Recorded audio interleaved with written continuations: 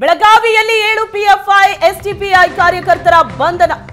ಶಾಂತಿ ಸುವ್ಯವಸ್ಥೆ ಕದಡೋ ಸಾಧ್ಯತೆ ಹಿನ್ನೆಲೆಯಲ್ಲಿ ಅರೆಸ್ಟ್ ಮಾಡಲಾಗಿದೆ. ಮುನ್ನೆಚ್ಚರಿಕಾ ಕ್ರಮವಾಗಿ ಪಿಎಫ್ಐ ಎಸ್ಟಿಪಿಐ ಕಾರ್ಯಕರ್ತರ ಬಂಧನ. ಬೆಳಗಾವಿಯಲ್ಲಿ ಏಳು ಪಿಎಫ್ಐ ಎಸ್ಟಿಪಿಐ ಕಾರ್ಯಕರ್ತರ ಬಂಧನ ಆಗಿದೆ. ಶಾಂತಿ ಸುವ್ಯವಸ್ಥೆ ಕದಡೋ ಸಾಧ್ಯತೆ ಹಿನ್ನೆಲೆಯಲ್ಲಿ ಏಳು ಮಂದಿಯ ಅರೆಸ್ಟ್. ಮುನ್ನೆಚ್ಚರಿಕಾ ಕ್ರಮವಾಗಿ ಪಿಎಫ್ಐ ಎಸ್ಟಿಪಿಐ ಕಾರ್ಯಕರ್ತರ ಬಂಧನವಾಗಿದೆ.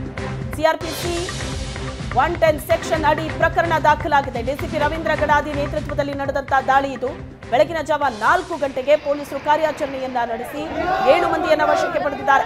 ಬಂಧಿತ ಪಿಎಫ್ಐ ಕಾರ್ಯಕರ್ತರಿಗೆ ವೈದ್ಯಕೀಯ ತಪಾಸಣೆ ಆಗಿದೆ.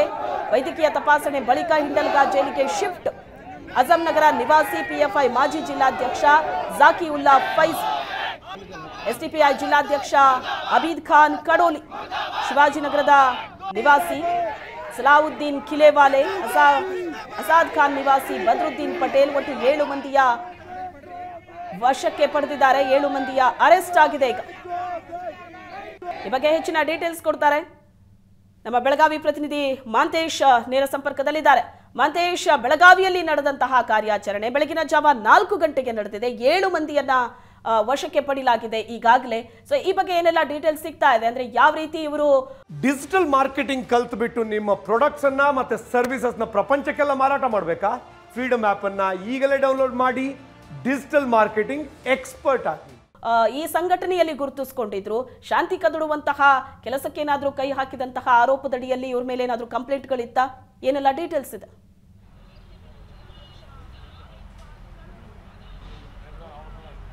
ಶ್ವೇತಾ ಏನು ರಾತ್ರೋರಾತ್ರಿ ಬೆಳಗಾವಿ ಪೊಲೀಸರು ಒಂದು ಕಾರ್ಯಾಚರಣೆಯನ್ನು ನಡೆಸಿ ಏಳು ಜನ ಪಿ ಎಫ್ ಐ ಮತ್ತು ಎಸ್ ಡಿ ಪಿ ಐ ಕಾರ್ಯಕರ್ತರನ್ನು ಈಗ ಬಂಧನ ಮಾಡಿರುವಂಥದ್ದು. ಏನು C R P C section ಒನ್ನೂರ ಹತ್ತರ ಅಡಿಯಲ್ಲಿ ಅವರೆಲ್ಲರನ್ನೂ ಸಹ ಬಂಧಿಸಲಾಗಿದೆ. ಏನು ಇತ್ತೀಚೆಗೆ ಎನ್ ಐ ಎ ದೇಶಾದ್ಯಂತ ಪಿ ಎಫ್ ಐ ಮುಖಂಡರ ಮನೆ ಮೇಲೆ ದಾಳಿ ಮಾಡಿತ್ತು. ಈ ದಾಳಿಯನ್ನು ಖಂಡಿಸಿ ಬೆಳಗಾವಿ ಹೊರವಲಯದಲ್ಲಿ ರಾಷ್ಟ್ರೀಯ ಹೆದ್ದಾರಿ ನಾಲ್ಕರ ಮೇಲೆ ಪಿ ಎಫ್ ಐ ಜಿಲ್ಲಾಧ್ಯಕ್ಷ ನಬೀದ್ ಕಟ್ಗಿ ಅವರ ನೇತೃತ್ವದಲ್ಲಿ ಒಂದು ಬೃಹತ್ ಪ್ರತಿಭಟನೆಯನ್ನು ನಡೆಸಲಾಗಿತ್ತು. ರಾಷ್ಟ್ರೀಯ ಹೆದ್ದಾರಿ ನಾಲ್ಕನ್ನು ತಡೆದು ಪ್ರತಿಭಟನೆಯನ್ನು ನಡೆಸಲಾಗಿತ್ತು. ಈ ನೆಲೆಯಲ್ಲಿ ಬಳಿಕ ಅವರನ್ನು ವಶಕ್ಕೆ ಪಡೆದು ಬಿಡುಗಡೆ ಮಾಡಲಾಯಿತು. ಆದರೆ ನಿನ್ನೆ ರಾತ್ರಿ ಎನ್ ಐ ಎ ಸೂಚನೆ ಮೇರೆಗೆ ಪೊಲೀಸರು ಒಂದು ಪಟ್ಟಿ ರೆಡಿ ಮಾಡಿಕೊಂಡು ಈ ಏನು ಎಸ್ ಡಿ ಪಿ ಐ ಮತ್ತು ಪಿ ಎಫ್ ಐ ಸಂಘಟನೆಗೆ ಸೇರಿದಂಥ ಮುಖಂಡರ ಮನೆಗಳ ಮೇಲೆ ದಾಳಿಯನ್ನು ಮಾಡಿದ್ರು.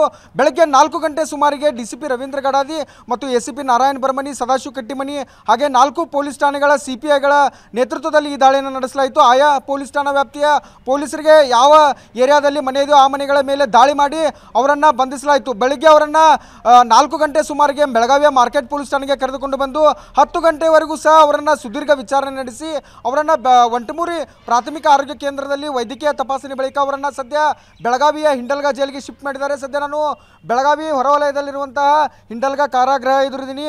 ಈ ಹಿಂಡಲ್ಗಾ ಕಾರಾಗೃಹದ ಒಳಗಡೆನೆ ಆ, ಎಲ್ಲರನ್ನೂ ಸಹ ಏಳು ಆರೋಪಿಗಳನ್ನು ಶಿಫ್ಟ್ ಮಾಡಿರುವಂಥದ್ದು ಎಸ್ ಡಿ ಪಿ ಐ ಮತ್ತು ಪಿ ಎಫ್ ಐ ಸಂಘಟನೆಗೆ ಸೇರಿದಂತಹ ಏಳು ಜನರನ್ನು ಇಲ್ಲಿ ಶಿಫ್ಟ್ ಮಾಡಲಾಗಿದೆ. ಬಂಧಿತ ಕಾರ್ಯಕರ್ತರನ್ನು ಶಿಫ್ಟ್ ಮಾಡುವ ವೇಳೆ ಓರ್ವ ಕಾರ್ಯಕರ್ತ ಮುಸ್ಲಿಂ ಮತ್ತು ದಲಿತ the crime in India ಅಂತ ಘೋಷಣೆಯನ್ನು ಕೂಗಿದ.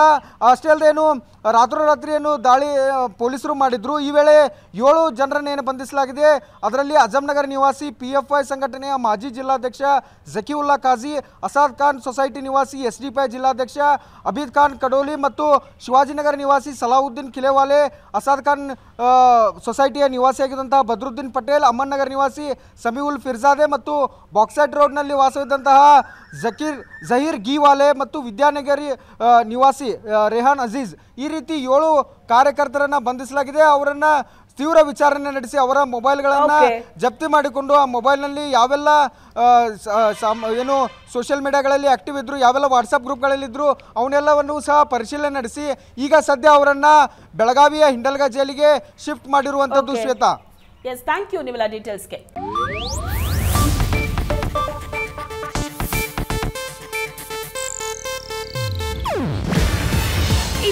ಏಷ್ಯಾನೆಟ್ ನ್ಯೂಸ್ ನೆಟ್ವರ್ಕ್ ಪ್ರಸ್ತುತಿ. ನೀವು ನೋಡ್ತಿದ್ದೀರಾ Asianet Suvarna news.